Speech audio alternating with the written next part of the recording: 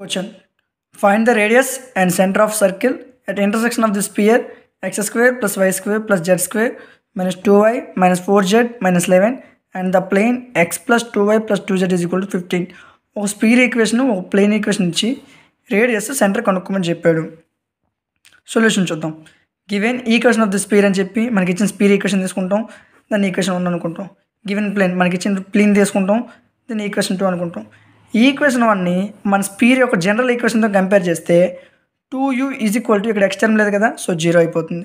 So U is equal to zero two we is equal to Y term ఎంత minus two so we is equal to టూకు two cancel అయిపోతే minus one two W is equal to minus four W is equal to minus two two టూసే కదా.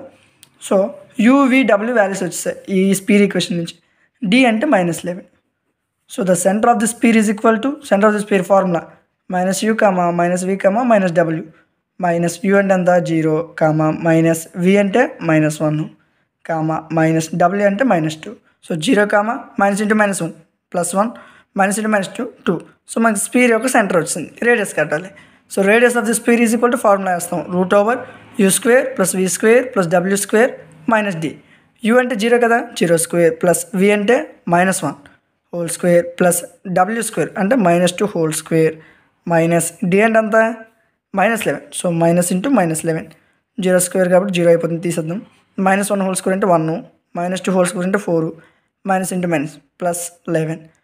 Eleven plus one plus four అంటే sixteen. So root sixteen value ఎంత? Four. So మనకి sphere యొక్క radius centre వచ్చింది కానీ వాడు క్వశ్చన్లో సర్కిల్ యొక్క సెంటర్ అడిగాడు. The distance d is equal to the perpendicular distance from point P. ఇక మనకి సెంటర్ వచ్చింది కదా. Zero comma one comma two. ఈ సెంటర్ నుంచి second plane ఈక్వేషన్కి to the plane two so plus second plane equation తీసుకుంటాం. Plane equation ఏమి ఇచ్చాడు? X plus two y plus two z minus fifteen so అదే రాసుకుంటాం x one plus two y one plus two z one minus fifteen by root over a square plus b square plus c square అంటే ఈ X యొక్క coefficient ఏ అవుతుంది? X ముందు ఏం లేదు కదా? సో వన్ అవుతుంది. ప్లస్ వై ముందు టూ సో బి అనేది టూ అవుతుంది.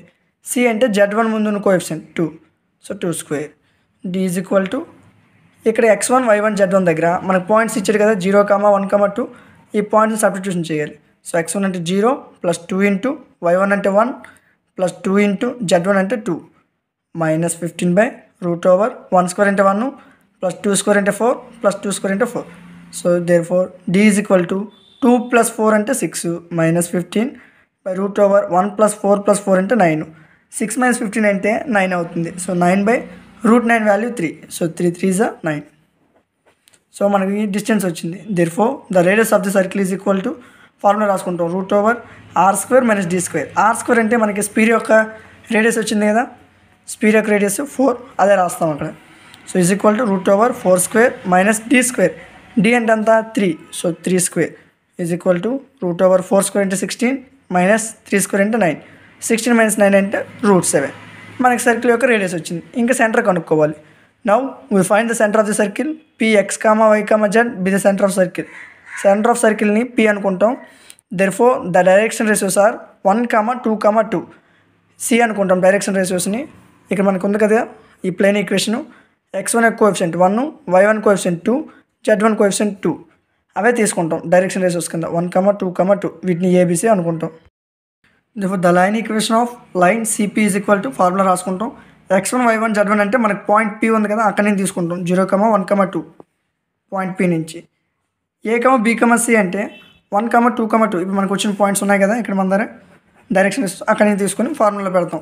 ఎక్స్ మైనస్ ఎక్స్ వన్ అంటే జీరో బై ఏ అంటే one is equal Y minus Y one అంటే వన్ బై బి అంటే two is equal Z minus Z one అంటే two by C అంటే two therefore let P is any point on the line ఈ equation తీసుకుంటాం X by one Y minus one by two is equal Z minus two by two is equal to R అనుకుంటాం. So X by one is equal to R Arki equal చేస్తాం ఈ టర్మ్ని so X is equal to one into R R అవుతుంది. Y minus one by two is equal to మళ్ళీ ఆర్కి equal చేస్తాం. So Y minus one is equal to భాగిస్తుంది అటు వెళ్తే గుణిస్తుంది. Is equal to two R Y is equal to minus one right side వస్తే plus one అవుతుంది. Z minus two by two మళ్ళీ ఆర్కి ఈక్వల్ చేస్తాం. So two into R two R minus two right side వస్తే plus two అవుతుంది. So మనకి X comma Y comma Z values తెలిసాయి. దీన్ని పాయింట్ పి అనుకున్నాం కదా? So P is equal to R comma two R plus one comma two R plus two దాని P lies on the plane మనకు plane equation ఇచ్చాడు కదా? ఆ plane equation మీద లైస్ అవుతుంది అనుకుందాం.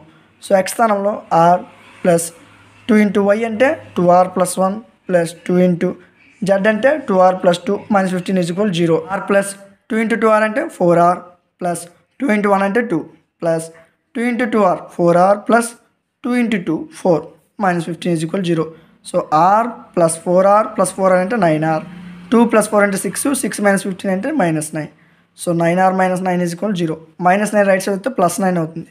సో నైన్కి నైన్కి క్యాన్సిల్ అయిపోతుంది. So radius R is equal to one so మనకి రేడియస్ వచ్చింది సెంటర్ కనుక్కోవాలి. So substitute R value in P P మనం పీ పాయింట్ ఉంది కదా. ఈ పాయింట్లో మనం ఆర్ వాల్యూ సబ్స్టిట్యూషన్ చేస్తాం. సో ఆర్ అంటే one comma two into R అంటే one plus one comma two into R అంటే one plus two. So one comma two plus one three comma two plus two four. So the centre of the circle is one comma three comma four. ఇది దీని యొక్క solution. Yeah.